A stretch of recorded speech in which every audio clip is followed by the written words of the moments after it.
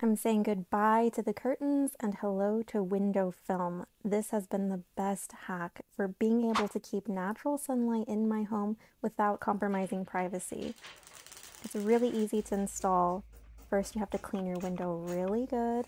Then, after you cut for measurements, moisten the window and the film with tons of water. I used a spray bottle. Line up the window film nice and straight, and I used my hands to smooth out the bubbles, but a squeegee also really helped. The geometric pattern makes me feel like I have a little extra piece of art around, and I love it.